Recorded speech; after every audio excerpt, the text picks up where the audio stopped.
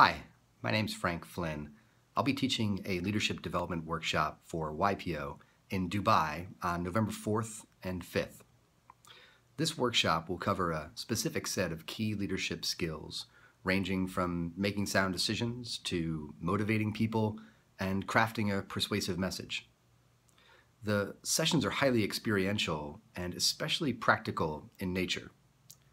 I take time to cover the latest insights in behavioral science and make these useful for you as you think about applying them to your everyday experience as a leader. I look forward to seeing you in Dubai in a few weeks. Thanks.